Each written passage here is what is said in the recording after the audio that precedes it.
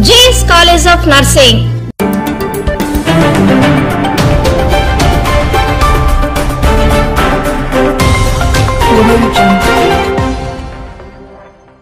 Prakasam జిల్లాలో మనము containment control and surveillance of covid nineteen ప్రభుత్వం నిర్దేశించినటువంటి మార్గదర్శకాలకు అనుగుణంగా ఎఫెక్టివ్గా ఇంప్లిమెంట్ చేస్తున్నాం. దానివల్ల మరి అదృష్టవశాత్తు మనం కంటైన్ చేయగలుగుతున్నాం. మోరార్లెస్ అరవై ఒక కేసుల దగ్గర మనం చెప్పాలంటే స్టాగ్నేషన్ అయిపోయాము. ఇంకోవైపు ఎవరైతే పాజిటివ్ కేసులు హాస్పిటల్లో ట్రీట్మెంట్ తీసుకుంటున్నారో వాళ్ళందరూ కూడా చాలా నార్మల్గా ఉంటూ కోలుకొని ప్రోటోకాల్ ప్రకారం వాళ్ళందరినీ కూడా డిశ్చార్జ్ చేస్తున్నాం. ఆ క్రమంలో ఇప్పటివరకు యాభై రెండు మందిని మనం డిశ్చార్జ్ చేశాము. నెల్లూరులో ఉన్న పేషెంట్తో సహా యాభై రెండు మంది. ఇంకొక తొమ్మిది మంది ఇప్పుడు మన హాస్పిటల్లో ఉన్నారు. వీళ్ళు కూడా త్వరలో డిశ్చార్జ్ చేయడానికి రెడీ అవుతున్నారు. ఈ క్రమంలో కేసులు అయితే కొత్తగా మనకు నమోదు అవటం లేదు. బట్ టెస్టింగ్ అయితే మాత్రం చాలా స్కేలప్ చేశాము. కేవలం కంటైన్మెంట్ జోన్లకే కాకుండా ఇప్పుడు ఈ కలెక్షన్ ఆఫ్ శాంపిల్స్ని నాన్ కంటైన్మెంట్ ఏరియాస్లో కూడా తీసుకొచ్చి అక్కడ కూడా మనం నిర్ధారణ చేసుకోబోతున్నాం. ఒకవేళ కమ్యూనిటీలో ఎక్కడైనా పొరపాటున ఏవైనా కేసులు ఉన్నాయని చెప్పి ఒక్కొక్క పిఎస్సి పరిధిలో ఒక అరవై డెబ్బై శాంపిల్స్ తీసుకునే విధంగా ప్లాన్ చేశాము. ఆ రకంగా శాంపిల్స్ అన్నీ కూడా మనం కలెక్ట్ చేసు చేసి టెస్ట్లు అన్నీ చూసుకుంటున్నాం అనాలిసిస్ చేస్తున్నాం. అట్లాగే ఈ కంటైన్మెంట్ జోన్స్లో కూడా కేవలం ఇప్పుడు వరకు ఏం రాలేదు లేనటువంటి ఒక నిర్లక్ష్యంగా ఉండకుండా ఈ కంటైన్మెంట్ జోన్ను ఎక్స్టెండ్ చేసుకుంటూ వెళ్తున్నాం. కంటైన్మెంట్ జోన్ పైన బఫర్ జోన్ ఉంటుంది. ఆ బఫర్ జోన్లో కూడా మనం శాంపిల్స్ తీస్తున్నాం. సో ఈ రకంగా మనం కమ్యూనిటీలో ట్రాన్స్మిషన్ అనేది ఏమైనా ఉందా అనే విషయంలో దృష్టిలో పెట్టుకొని ప్రభుత్వం ఈ శాంపిల్స్ని కలెక్ట్ చేసే విషయంలో టెస్టింగ్ చేసే విషయంలో ఏ రకమైనటువంటి ప్రోటోకాల్ ప్రొవిజన్స్ నిర్దేశించిందో దాని ప్రకారం చేసుకుంటూ నాకు తెలిసినంత వరకు ఈ రోజుకి శాంపిల్స్ పరంగా చూస్తే పదిహేను వేలు పైచీలకు మనం చేసాం తర్వాత మనకు టెస్టింగ్ ఫెసిలిటీ కూడా జిల్లాలో ఇప్పుడు స్కేలప్ అయింది. విఆర్డిఎల్ మనకు ల్యాబ్ ఎస్టాబ్లిష్ అయింది. కాకపోతే ఇది మనం ఇంకా సొంతంగా చేసుకోవడానికి నిన్న సాయంత్రం నుంచే మొదలుపెట్టాం. ఎందుకంటే ఈ విఆర్డిఎల్ స్టా ల్యాబ్ ఎస్టాబ్లిష్ చేసిన తర్వాత రిజల్ట్స్ మీద మరి ఎవరైతే అక్కడ మైక్రోబయాలజిస్టులు ఉన్నారో వాళ్ళు వాళ్ళ అభిప్రాయం ఇచ్చేటప్పుడు వాళ్ళకి దాని మీద అవగాహన కలగాలి. సో అందు గురించి మనం ఎస్టాబ్లిష్ చేసిన తర్వాత ఒక three four days test samples లాగా మనం కండక్ట్ చేసుకుని ఆ, ఫెసిలిటీని మనం అంతా కూడా క్యాలిబ్రేషన్ని స్టాండర్డైజ్ చేసుకున్నాం. సో ఇప్పుడు ఇంకా మనకు ఫుల్ పెడ్జ్డ్గా విఆర్డిఎల్ ద్వారా మనం శాంపిల్ పూలింగ్ ద్వారా ఎక్కువ మందిని కవర్ చేయొచ్చు. ఎక్కడ అవసరమైతే అక్కడ ఇండివిజువల్గా కూడా టెస్ట్ చేసుకొని మనం కన్ఫర్మేటరీ యాంగిల్లో మనకు సొంతంగా ప్రకాశం జిల్లాలో టెస్టింగ్ ఫెసిలిటీ వచ్చింది. రెండోది టూ నాట్ మిషన్స్ కూడా పదిహేడు పనిచేస్తున్నాయి ఇంకో నాలుగు కూడా మనకు అదనంగా ఇచ్చారు. అయితే ఈ నాలుగు అదనంగా వాటికి ఇంకొంత ఎక్విప్మెంట్ uh, రావాల్సి ఉంది. అదంతా వచ్చిన తర్వాత టూ నాట్ ద్వారా కూడా మనకు అప్పుడు ఇరవై ఒకటి అవుతాయి. ఇరవై ఒకటి అయితే నాలుగు వందల uh, మందికి మనం రోజువారీగా పరీక్షలు చేసేటువంటి అవకాశం ఉంది. ఇంకా ర్యాపిడ్ కిట్స్ విషయంలోకి వచ్చినప్పుడు మనకు రెండు రకాలుగా ఇచ్చారు చైనా వెరైటీని కొంత వాడిన తర్వాత వెనక్కి పంపించమన్నారు. పంపించేసాం మిగతాటి మనం ఇంకా వాడుతూ ఉన్నాం. టార్గెట్ గ్రూప్ అంతా కూడా కవర్ చేసేసాం. దీంట్లో ప్రధానంగా ఈ ర్యాపిడ్ కిట్స్ ఉపయోగించే విషయంలో మొదటి కేటగిరీ ఎవరైతే ఫ్రంట్ ఎండ్లో పనిచేస్తున్నారో హెల్త్ డిపార్ట్మెంట్ కానీ శానిటరీ డిపార్ట్మెంట్ కానీ పోలీస్ డిపార్ట్మెంట్ కానీ వీళ్ళందరూ కూడా కంటైన్మెంట్ జోన్స్లో పనిచేస్తున్నారు లేదా క్వారంటైన్ సెంటర్స్లో పనిచేస్తున్నారు. సో ఈ రకంగా ఎక్కడైతే ఇన్ఫెక్షన్ రిలేటెడ్ ఏరియాస్ ఉన్నాయో అక్కడ మాత్రమే మనము ఈ ర్యాపిడ్ కిట్స్ను వాడాము. ఆ తర్వాత అట్లాగే సర్వే మన కంటైన్మెంట్ జోన్స్లో కూడా వాడాము. రెండో కేటగిరీ మనం ఈ హెల్త్ మన ఫ్యామిలీ మన హౌస్ హోల్డ్ సర్వేలో ఎవరైతే సిమ్టమాటిక్ కేసెస్ ఉన్నాయో వాళ్ళందరికీ దాదాపు ఒక వాళ్ళు ఒక పదిహేను వందల మంది పదిహేను వందల మంది సిమ్టమాటిక్ కేసెస్ మనకు కమ్యూనిటీలో నుంచి తేలారు. ఈ కమ్యూనిటీ నుంచి సర్వేలో తేలినటువంటి వాళ్ళు కొంతమంది కంటైన్మెంట్ ఏరియాస్లో ఉన్నారు మరి కొంతమంది నాన్ కంటైన్మెంట్ ఏరియాస్లో ఉన్నారు. వాళ్ళందరికీ కూడా మనం హండ్రెడ్ పర్సెంట్ చేసేసాం. అట్లాగే ఈ ఈ ర్యాపిడ్ కిట్స్ని మనము రెండు కేటగిరీ కింద ఈ ఫ్రంట్ ఎండ్లో పనిచేసే ఎంప్లాయీస్కు అది హండ్రెడ్ పర్సెంట్ పూర్తి చేసాం. కంటైన్మెంట్ ఏరియాలో పనిచేసే వాళ్ళందరికీ. ఇకపోతే మనకు కంటైన్మెంట్ ఏరియాలో సర్వే చేసినప్పుడు కొంతమంది హై రిస్క్ ఫ్యాక్టర్ ఉన్నటువంటి వాళ్ళని ఐడెంటిఫై చేసుకున్నాం. అంటే కోమార్బిడిటీతో ఉండి మోర్ దాన్ సిక్స్టీ ఇయర్స్ వాళ్ళు ఒక రెండు వందల అరవై మంది తేలారు. ఆ రెండు వందల అరవై మందికి మనం వీఆర్డి టెస్టే చేస్తున్నాం కన్ఫర్మేషన్ గురించి. సో ఈ రకంగా మనం టెస్టింగ్ విషయంలో మనం ప్రభుత్వం ఏదైతే చెప్పిందో వాళ్ళందరినీ కూడా కవర్ చేస్తూ మనం నిర్ధారణకు వస్తున్నాం. అరే ఇప్పుడు హై రిస్క్ కేసులు టెస్ట్ చేసిన తర్వాత వాళ్ళకి ఏమన్నా కేసు వాళ్ళకి ఏమన్నా సోకిందా అని. సో ఎక్కడ కూడా ప్రకాశం జిల్లాలో మరి మనం సొంతంగా చేసేటువంటి టెస్టింగ్లో కానీ లేదా మనం గుంటూరు విజయవాడ ఆ టెస్టింగ్ ల్యాబ్లో కూడా వాళ్ళ సర్వీసెస్ కూడా మనం తీసుకుంటున్నాం. ఎక్కడ కూడా గత పది రోజుల నుంచి రమారమి రోజుకి వందలాది శాంపిల్స్ టెస్ట్ అయ్యి వస్తున్నాయి. అన్నీ కూడా దేవుడు దయవల్ల నెగిటివ్ అవుతున్నాయి. సో ఈ క్రమంలో మన జిల్లాలో కోవిడ్ కంట్రోల్ అనేది ఎఫెక్ట్గా ఉందని చెప్పి నేను ప్రజలకి తెలియజేస్తున్నాను. అయితే ఇప్పుడు నాలుగో తారీఖు నుంచి పదిహేడో తారీఖు వరకు మళ్ళీ మూడోసారి లాక్డౌన్ మెజర్స్ ఎక్స్టెండ్ అయినాయి. దీంట్లో ప్రకాశం జిల్లా ఆరెంజ్ జోన్ కింద గవర్నమెంట్ ఆఫ్ ఇండియా డిక్లేర్ చేసింది. ఇప్పుడు జిల్లాలో మనకు ఈ రకంగా చూసినప్పుడు రెండు రకాల ఏరియాస్ ఉన్నాయి. ఒకటేమో కంటైన్మెంట్ ఇంప్లిమెంటేషన్ ఉన్నటువంటి ఏరియాస్ రెండు కంటైన్మెంట్ ఇంప్లిమెంటేషన్ లేకుండా ఉన్నటువంటి ఏరియాస్ సో కంటైన్మెంట్ ఏరియా కానటువంటి ఏరియాస్లో ఆరెంజ్ జోన్ కింద మరి మన రాష్ట్ర ప్రభుత్వం భారత ప్రభుత్వం ఏ ఏ కార్యక్రమాలు చేసుకోవడానికి పర్మిషన్ ఇచ్చిందో అవన్నీ కూడా ప్రజలు చేసుకోవచ్చు. అవన్నీ కూడా ఇంప్లిమెంట్ చేయడానికి మనం స్టెప్స్ తీసుకుంటున్నాం. మొన్న వీడియో కాన్ఫరెన్స్ కూడా పెట్టి మండల స్థాయిలో గ్రామ స్థాయిలో ఉన్న అధికారులకు అంతా చెప్పాం. కాకపోతే ఇంకా వీటి యొక్క ఇంప్లిమెంటేషన్ లెవెల్ అనేది ఆ క్షేత్రస్థాయిలో స్టెబిలైజ్ అవ్వడానికి కాస్త టైం పడుతుంది. ఎందుకంటే క్షేత్రస్థాయిలో పనిచేసే సిబ్బంది కూడా సడన్గా ఈ యాక్టివిటీస్ అన్నింటినీ పర్మిట్ చేసినప్పటికీ మనం ఫ్రీ చేసేస్తే మూమెంట్ ఎక్కువ అయిపోయి మళ్ళీ మనం ఎక్కడ ఇబ్బందులు పడతాము అన్నటువంటి కోణం కూడా ఉంటుంది సో ఏదేమైనప్పటికీ మేమే ప్రాధాన్యత ఇస్తూ హెల్త్ సర్వీసెస్ మీద ఫోకస్ పెట్టాము తర్వాత నాన్ కోవిడ్ డిసీజెస్ మనం ఇప్పుడు కరోనా కంట్రోల్లో పడి మరి కరోనా కాకుండా వేరే రకమైనటువంటి వ్యాధులు వస్తూ ప్రజలు ఇబ్బంది పెట్టేటువంటి అవకాశాలు ఉన్నాయి కాబట్టి దాన్ని అంతా కూడా గేరప్ చేశాం. సో ఇప్పుడు ఈ ఈ ఏదైతే అవుట్ సైడ్ కంటైన్మెంట్ ఏరియాస్లో ఈ రకంగా ఈ నాన్ కోవిడ్ డిసీజుల మీద యాక్సెస్ పెంచడానికి మనం గేరప్ చేస్తున్నాం. అట్లాగే ప్రభుత్వం కూడా టెలి మెడిసిన్ సర్వీసు స్పందన అనే కార్యక్రమం ద్వారా ఎవరైనా ప్రజలు వాళ్ళకు ఉన్నటువంటి హెల్త్ కండిషన్స్ చెప్తే దాని ద్వారా కూడా మనం ట్రీట్మెంట్ ఇస్తున్నాము. సో ఈ రకంగా ప్రజలు ఫిజికల్ కాంటాక్ట్కి కాంటాక్ట్కి రాకుండా మెడికల్ సర్వీసెస్ ఎక్స్టెండ్ చేసే కార్యక్రమాలు పెంచుతున్నాం.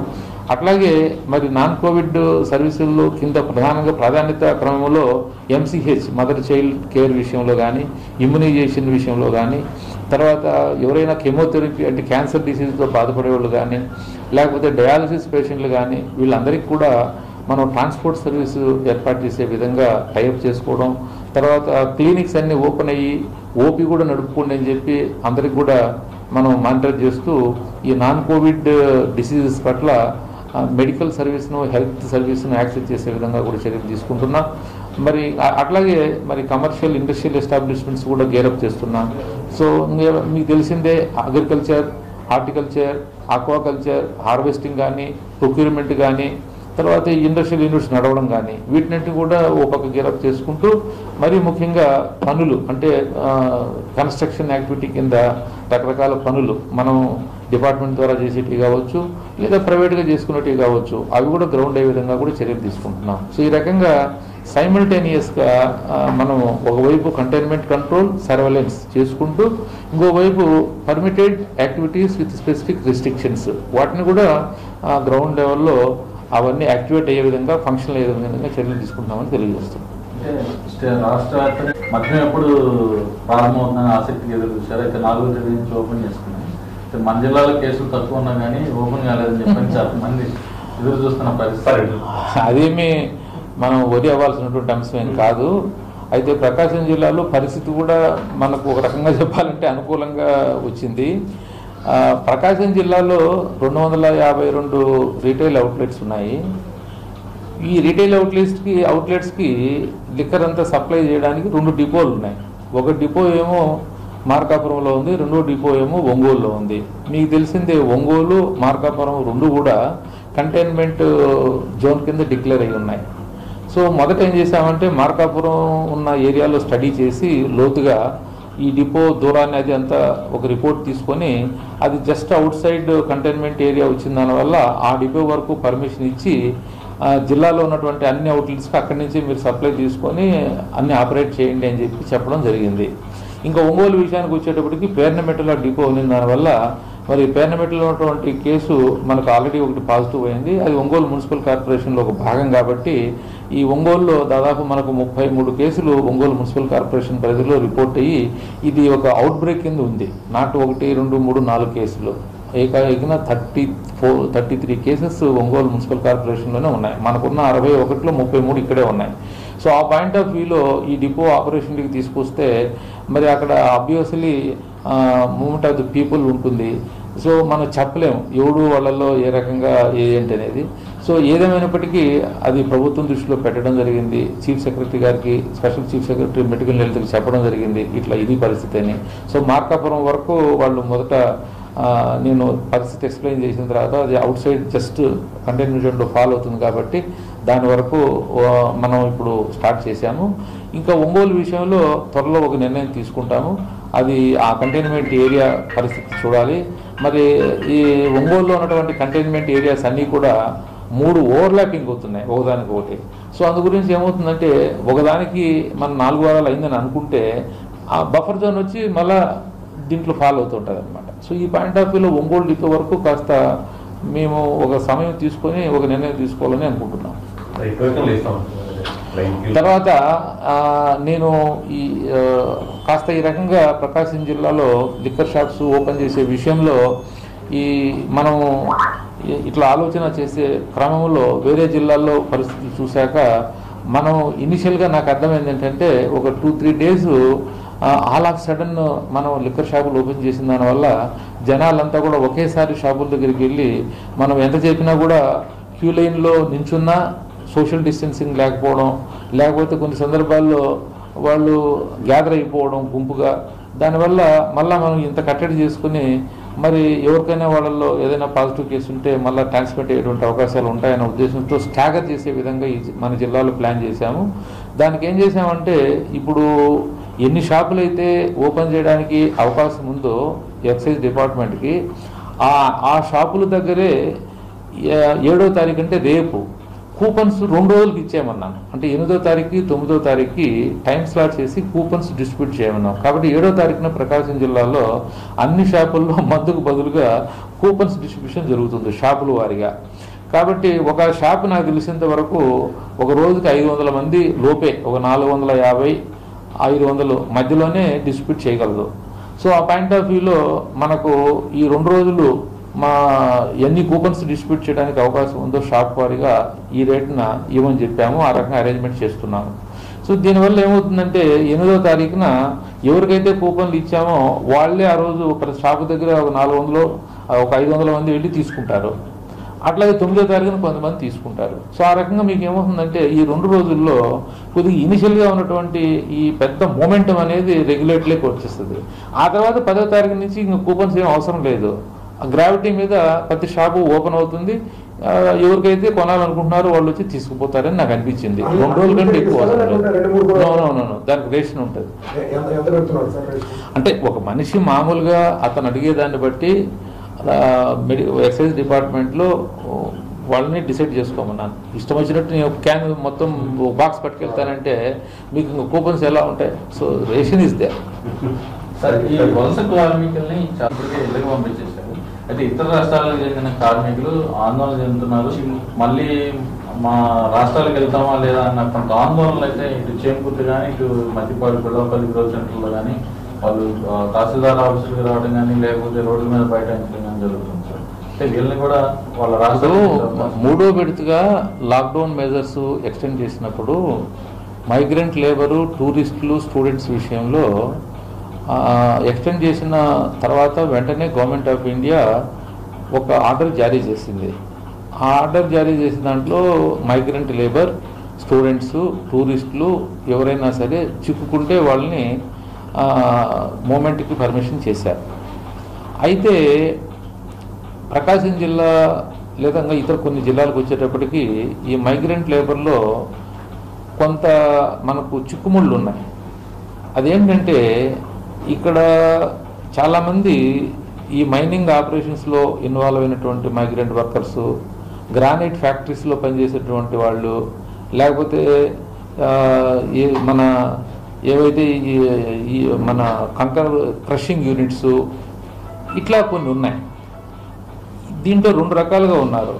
కొంతమంది ఎవరైతే ఓనర్స్ ఉన్నారో వాళ్ళ యొక్క రోల్లో ఉన్నారు. అంటే వాళ్ళకు నెలవారీగా వాళ్ళు జీతాలు ఇచ్చి వాళ్ళని ఎంగేజ్ చేస్తున్నారు. రెండో రకం కేటగిరీ ఏంటంటే వాళ్ళు ఫ్రీలాన్స్ లేబర్ అన్నమాట. కొంతమంది మేస్త్రీల యొక్క ఆధ్వర్యంలో ఉండి ఎక్కడ పని కోసం డిమాండ్ ఉంటుందో అక్కడ వీళ్ళని పంపిస్తూ వాళ్ళు మూమెంట్లో ఉంటారు. ఏ ఒక మైనింగ్ ఓనర్ దగ్గర కానీ లేకపోతే ఒక గ్రానైట్ ఫ్యాక్టరీ దగ్గర కానీ లేదా ఒక క్రషింగ్ యూనిట్ దగ్గర కానీ అటాచ్డ్గా ఉండరు. ఎక్కడ పని ఉంటే అక్కడ పోతుంటారు అనమాట ఇట్లా ఈ రెండు రకాలు ఉన్నారు. మళ్ళా మనం ఈ గ్రానైట్ ఇండస్ట్రీని చూసినప్పుడు ఎక్స్పోర్ట్ చేసే యూనిట్స్ లోకల్ అంటే ఇండియన్ డొమెస్టిక్ మార్కెట్ చేసే యూనిట్స్ రెండు రకాలుగా ఉన్నాయి. ఎక్స్పోర్ట్ చేసే యూనిట్స్ వాళ్ళు పని మొదలు పెట్టుకుంటే వాళ్ళ వాళ్ళ ఏదైతే వాళ్ళ ప్రొడక్షన్ గ్రానైట్ తయారవుతుందో దానికి ఎక్స్పోర్ట్ అవ్వడానికి ఇబ్బంది లేదు. దానికి టా వెహికల్స్ ఉన్నాయి మ్యాన్ పవర్ కూడా తక్కువ అవసరము. తర్వాత పోర్ట్లు పనిచేస్తూ ఉన్నాయి. అందువల్ల వాళ్ళు కంటైనర్స్లో పంపించగలుగుతున్నారు.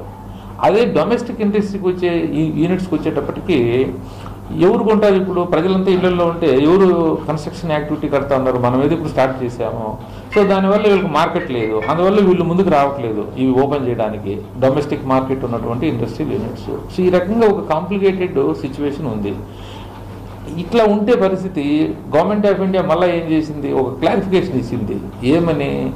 ఏ మైగ్రెంట్ వర్కర్స్ అయితే ఏదైనా ఒక వర్క్ ప్లేస్కి అటాచ్ అయ్యి ఉంటే వాళ్ళను మీరు దీని కింద కన్సిడర్ చేయొద్దు. ఎవరైతే లాక్డౌన్ మెజర్స్ వల్ల వాళ్ళు స్టాండ్ అయిపోయారో వాళ్ళను మాత్రమే మీరు మూమెంట్కి అనుమతించండి. ఒకవేళ లాక్డౌన్ మెజర్స్ లేని పక్షంలో ఈ ఫ్యాక్టరీస్ కానీ మైనింగ్ ఆపరేషన్స్ కానీ లేదా క్రషింగ్ యూనిట్స్ కానీ నడిచేటివి కదా వాళ్ళంతా పనిలో ఎంగేజ్ అయ్యేవాళ్ళు కదా అన్న యాంగిల్లో వచ్చిందన్నమాట సమస్య. సో అందు గురించి ఇప్పుడు ఇది రాష్ట్ర ప్రభుత్వం దృష్టికి గతంలో తీసుకెళ్ళాం ఇప్పుడు మరి ఒకసారి మూడోసారి ఎక్స్టెండ్ చేసినప్పుడు ఇట్లా మైగ్రెంట్ లేబర్ విషయంలో government of India government of Andhra Pradesh permission ఇచ్చింది కదా. మీరు మమ్మల్ని ఎందుకు ఆపుతున్నారు? మాకెందుకు మీరు సహాయ సహకారాలు అందించి మమ్మల్ని పంపించట్లేదు అనేది వర్కర్స్లో అవగాహన లేక వాళ్ళేమో చెంకుత్ ఏరియాలో కొంతమంది మన తహసీల్దార్ ఆఫీస్కి వచ్చి వాళ్ళ యొక్క నిరసన తెలియజేసి డిమాండ్ పెడుతున్నారు. సో ఈ విషయాన్ని అంతా కూడా స్టడీ చేస్తున్నాము. దీన్ని గవర్నమెంట్ దృష్టిలో కూడా నేను పెట్టడం జరుగుతోంది. దీంట్లో ఎవరైతే రోల్లో ఉన్నారో వాళ్ళు మొరల్లెస్ ఎంప్లాయీస్ కింద లెక్క వస్తారు కాబట్టి మనం వాళ్ళ వరకు మరి మేనేజ్మెంట్తో మాట్లాడి వాళ్ళకు యాక్టివిటీ స్టార్ట్ చేశారు కాబట్టి కొంతవరకు వాళ్ళు మనం కంటైన్ చేయొచ్చు. ఎవరైతే ఫ్రీలాన్స్గా ఉన్నారో వాళ్ళకు పని దొరకటం లేదు కాబట్టి మరి ఇండస్ట్రీస్ కూడా స్టార్ట్ అవ్వలేదు కాబట్టి వాళ్ళ విషయంలో ఒక స్టాండ్ తీసుకునే విషయంలో గవర్నమెంట్ దృష్టిలో పెట్టి గవర్నమెంట్ ఇచ్చినటువంటి డైరెక్షన్ ప్రకారం నేను చర్యలు తీసుకుంటానని తెలియజేస్తున్నాను. Okay sir thank you sir. ఇలాంటి మరిన్ని ఇంట్రెస్టింగ్ న్యూస్ కోసం సబ్స్క్రైబ్ చేయండి. D seven news Telugu.